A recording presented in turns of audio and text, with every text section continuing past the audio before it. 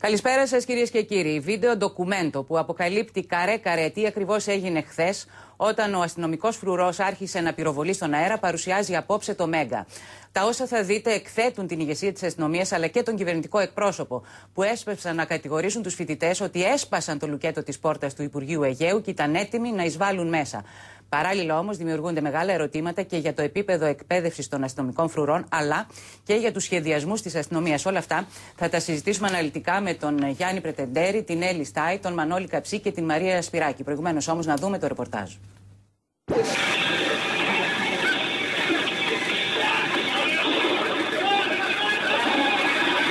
Στο βίντεο ντοκουμέντο το οποίο σας παρουσιάζει αποκλειστικά το Μέγκα έχει καταγραφεί καρέ-καρέ η στιγμή που ο ειδικός φρουρός πυροβολεί με το υπηρεσιακό του όπλο στον αέρα κατά τη διάρκεια του χθεσινού πανεκπαιδευτικού συλλαλητηρίου.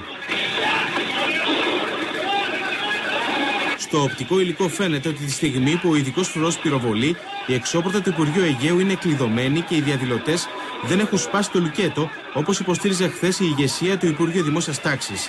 Η μαζική επίθεση δηλαδή εναντίον του σκοπού έγινε μετά τον πυροβολισμό, αφού αρχικά είχαν προκληθεί φθορές μόνο στο φυλάκιο από δύο νεαρούς.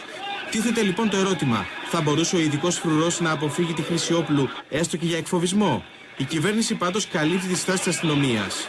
Εγώ δεν είδα καμία, οφείλω να ομολογήσω, καμία αστυνομική βία. Είδα κουκουλοφόρους οι οποίοι επιτίθενταν σε αστυνομικούς.